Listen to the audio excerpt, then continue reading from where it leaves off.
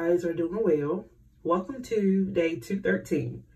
213 consists of Isaiah 64, 65, and 66. This also concludes the book of Isaiah for us. Yay! If you have been reading along with um, the chronological reading plan, no matter who's the origin of it, you know, there's Heart Dive and there's Bible Recap. They're exactly the same, whichever one you've been following. If that has been the case for you, that means you are more than halfway done with reading through the Bible. And that is awesome. Um, I use the Bible Tracker app, and I think we're like somewhere around 55% or something like that. So just over half. And y'all, to be that consistent in this type of style, because I read through the Bible my own once with jumping around. This time I did a chronological reading plan, as you can see. And I'm just like, Lord, I thank you. Next go round, I might try to consistently read in order. I don't know yet. But this has been fun. And this chronological reading definitely helps you to retain more because all the related or time frame matching data is together or text or whatever. So I've enjoyed it. I hope you guys have enjoyed thus far. We're just a little over half, but we got a little under half to go. So um, let us pray. Oh, Heavenly Father, Lord, I thank you and I love you. I give you praise, honor, and glory. You are a good God. You are awesome and you are worthy to be praised. Thank you, thank you, thank you for this sweet fellowship, Lord. Thank you for our Bibles. Thank you for our stationery. Lord, thank you for just being present. Thank you for being who you are, Lord God. I ask that you continue to enter our hearts and minds, cleanse us out, Lord God, and help us to remember your holy truth. In Jesus' name, amen. All right, got my highlighter of choice and I got my pen and I'm ready to begin. This is the Inspired Prayer Bible, so the translation is New Living Translation or the NLT. All right. Oh, that you would burst from the heavens and come down, how the mountains would quake in your presence. As fire causes wood to burn and water to boil, your coming will make the nations tremble. Then your enemies will learn the reason for your fame. When you came down long ago, you did awesome deeds beyond our highest expectations.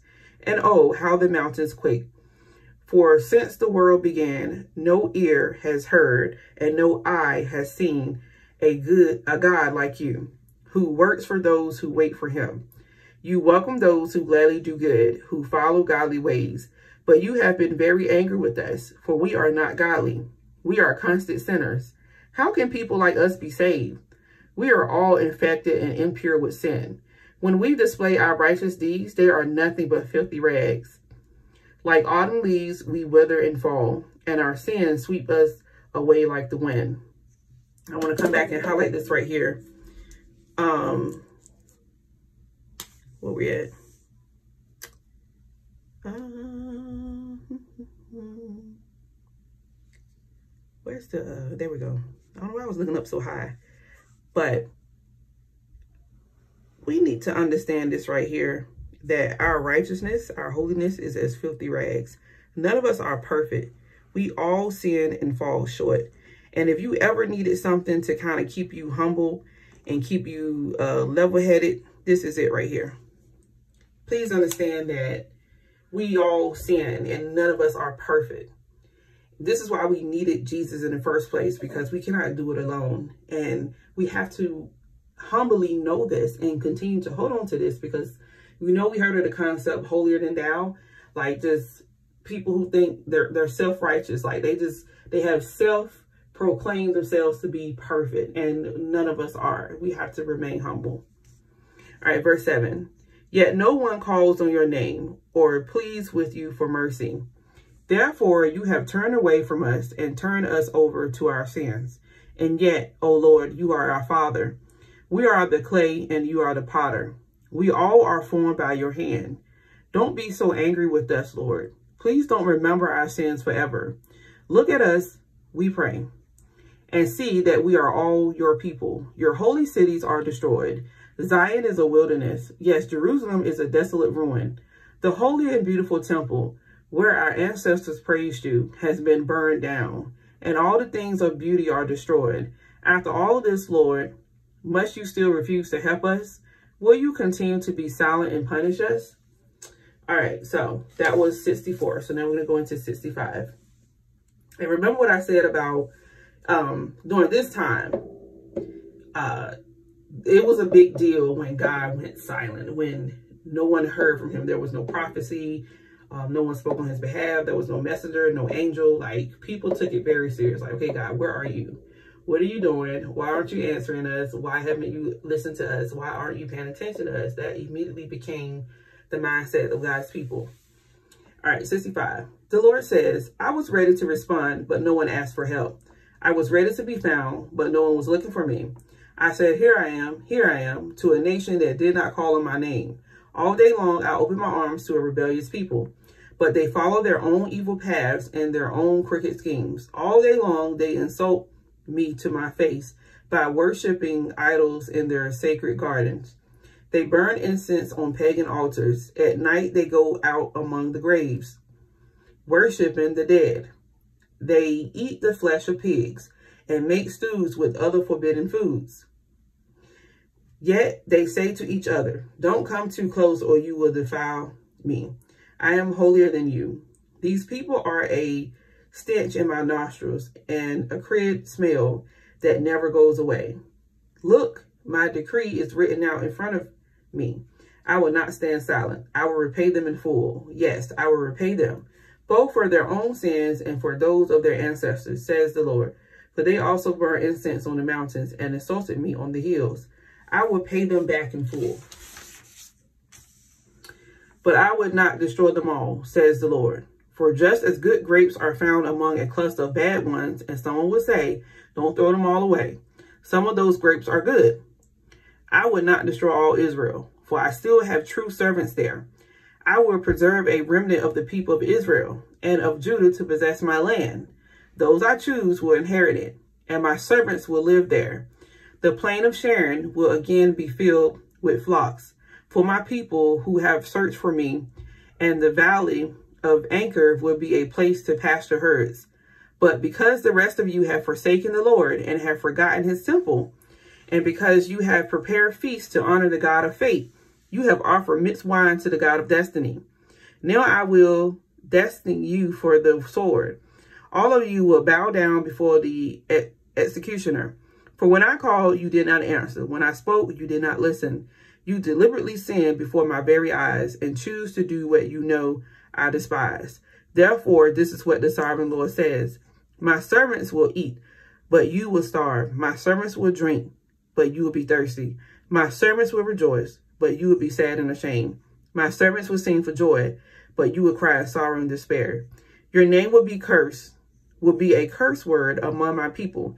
For the sovereign Lord will destroy you and will call his true servants by, by another name. All who invoke a blessing or take an oath will do so by the God of truth. For I will put aside my anger and forget the evil of earlier days. Look, I have created new heavens and a new earth, and no one would even think about the old ones anymore. Be glad, re rejoice forever in my creation. And look, I will create Jerusalem as a place of happiness her people will be a source of joy. I will rejoice over Jerusalem and delight in my people. And the sound of weeping and crying would be hard, excuse me, would be heard in it no more. No longer will babies die when only a few days on old. No longer will adults die before they have lived a full life. No longer will people be considered old at 100. Only the curse will die that young. In those days, people will live in the houses they build and eat the fruit of, of their own vineyards. Unlike the past, invaders will not take their houses and confiscate their vineyards. For my people will live as long as trees, and my chosen ones will have time to enjoy their hard-won gains. They will not work in vain, and their children will not be doomed to misfortune. For they are people blessed by the Lord, and their children too will be blessed. I will answer them before they even call to me while they are still talking about their needs, I will go ahead and answer their prayers. Wow. I'm just, this just blew my mind right there. Like, imagine that, and, and this is what recently happened to me. And I'm not, I'm not saying I'm a chosen person or nothing like that. So please don't take that. But I had thoughts in my head. I didn't even tell nobody. I didn't write on a piece of paper. I didn't put it in a prayer journal. I was just like, Lord, it would be nice to have this. Or it would be good to, I would definitely, I could use this. And do y'all know that God touched one of my subscribers to send me the very things that I never ever even spoke out loud. And I'm like, God, you are a God who listen and you care. And it just blew my mind because it's like, know how you just not you're you're talking, you're you're making a request, but not really. Like, you know, there's one thing to get on your knees and bow down and say, Lord, I really need you right now for this, this, and this. But just to have a, like a just a fly by night thought where you're just sitting there and you're doing your own thing, watching dishes or something, and you're just like, Lord, I, I sure could use this. And it just happened. Like, oh my goodness. And, and this right here, before you even could speak your needs to God, before you even could mention anything, God will take care of it. That is awesome, y'all. That's the God we serve. Verse 25. The wolf and the lamb will feed together. The lions will eat hay like a cow, but the snakes will eat dust. In those days, no one will be hurt or destroyed on my holy mountain. I, the Lord, have spoken. All right, so that concludes 65. So now we will go into 66. This is what the Lord says. Heaven is my throne and the earth is my footstool. Could you build me a temple as good as that? Could you build me such a resting place? My hands have made both heaven and earth. They and everything in them are mine. I, the Lord, have spoken. I will bless those who have humble, who have humble and contribute hearts, who tremble at my word. But those who choose their own ways, delight in their detestable sins, will not have their offerings accepted. When such people sacrifice a bull, it is no more acceptable than a human sacrifice. When they sacrifice a lamb, it's as though they had sacrificed a dog. When they bring an offering of grain, they might as well offer the blood of a pig. When they burn frankincense, it's as if they had blessed an idol. I would send, send them great trouble, all the things they feared. For when I called, they did not answer. When I spoke, they did not listen. They deliberately sinned before my very eyes and chose to do what they know I despise. Hear this message from the Lord, all you who tremble at his words. Your own people hate you and throw you out for being loyal to my name. Let the Lord be honored, they scoff. Be joyful in him. But they will be put to shame. What is all the commotion in the city? What is that terrible noise from the temple? It is the voice of the Lord, taking vengeance against his enemies. Before the birth pains even began, Jerusalem gives birth to a son who has who has ever seen anything as strange as this? Who ever heard of such a thing? Has a nation ever been born in a single day? Has a country ever come forth in a mere moment? But by the time Jerusalem's birth pains begin, her children will be born. Would I ever bring this nation to the point of birth and then not deliver it? asked the Lord. No, I will never keep this nation from being born, says the Lord. Rejoice with Jerusalem. Be glad with her, all who love her, and all you who mourn for her. Drink deeply of her glory, even as an infant drinks at its mother's comforting breast. This is what the Lord says. I will give Jerusalem a river of peace and prosperity. The wealth of the nations will flow to her. Her children will be nursed at her breast, carried in her arms and held on her lap. I will comfort you there in Jerusalem as a mother comforts her child. When you see these things, your heart will rejoice. You will flourish like the grass. Everyone will see the Lord's hand of blessing on his servant and his anger against his enemies. See, the Lord is coming with fire and his swift chariots roar like a whirlwind. He will bring punishment with the fury of his anger and the flaming fire of his hot rebuke. The Lord will punish the, the world by fire and by his sword. He will judge the earth, and many will be killed by him. Those who consecrate and purify themselves in the sacred ground and with its idols in the center, feasting on pork and rats and other detestable meats will come to a terrible end, says the Lord. I can see that see what they are doing, and I know what they are thinking. So I will gather all nations and peoples together, and they will see my glory. I will perform a sign among them, and I will send those who survive to be messengers to the nations, to Tarshish, to the Libyans and Lydians, who are famous as archers, to Tubal and Greece, and to all the lands beyond the sea that have not heard of my fame or seen my glory. There they will declare my glory to the nations. They will bring the remnant of your people back from every nation. They will bring them to my holy mountain in Jerusalem. As an offering to the Lord, they will ride on horses and chariots and wagons and on the mules and camels, says the Lord. And I will appoint some of them to be my priests and Levites. I, the Lord, have spoken. As surely as my new heavens and earth will remain, so will you always be my people, with the name that will never disappear, says the Lord. All humanity will come to worship me from week to week and from month to month. And as they go out, they will see the dead bodies of those who have rebelled against me. For the worms that devour them will never die, and the fire that burns them will never go out. All who pass by will view them with utter horror. What a way to end a book. We have to honor God and obey him and keep his commands. We have to always keep him first, glorify his name. We should not put anything, any gods, idols before him. Um, I would say this, although we know that, like I said, Christ has fulfilled the law and we are not reserved from eating pork and this, that, and the third. We do understand that eating an abundance of it is not the best thing for your health. And I can see why a lot of people are quick to say, hey, no pork. Um, but we also have been commanded to bless it and eat it, and that it is good. So it's a personal preference, of course, but I know as I get older, I know it's not the best thing to eat. So I have shone away from it.